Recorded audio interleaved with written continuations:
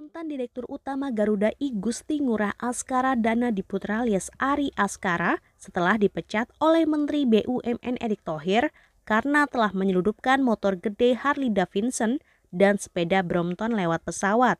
Ari kini diterpa kabar miring ihwal kedekatan dengan salah seorang pramugari Garuda Indonesia.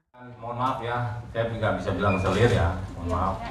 Ya, tapi memang memang isunya seperti itu, Pak. Ya, jadi uh, ada uh, kawan kita, kawan kita yang memang uh, secara hubungan uh, pertemanannya dekat dengan Pak Ari.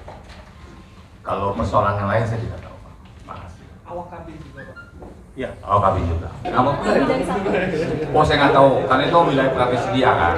Ya.